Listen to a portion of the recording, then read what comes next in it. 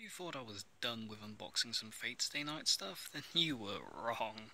I have just recently gotten the original Fate Stay Night series on DVD.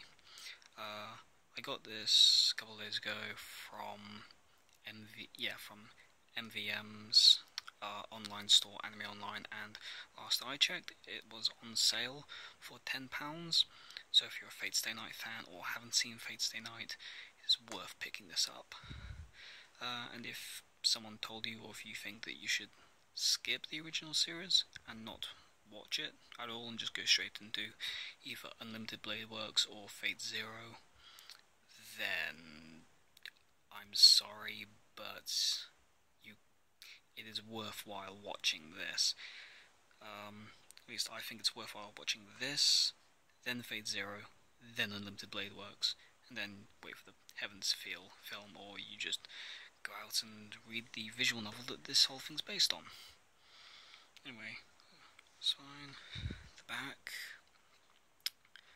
usual stuff, some couple extras, some technical details there.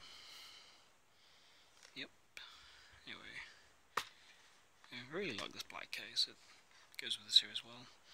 Right, there's Saber, one, two, disc two's Rin.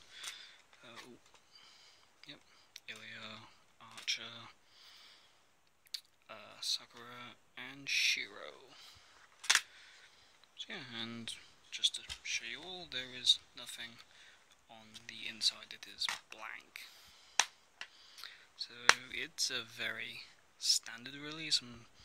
I'm kind of disappointed that this hasn't gotten a Blu-ray release, but it's not that type of series that I think warrants the release. It's perfectly fine on DVD, and as you can probably tell from the spine, if you put this with your other Fate Stay Night um, sets, it will look a, look a little out of place, but hey, whatever, it'll still look nice altogether.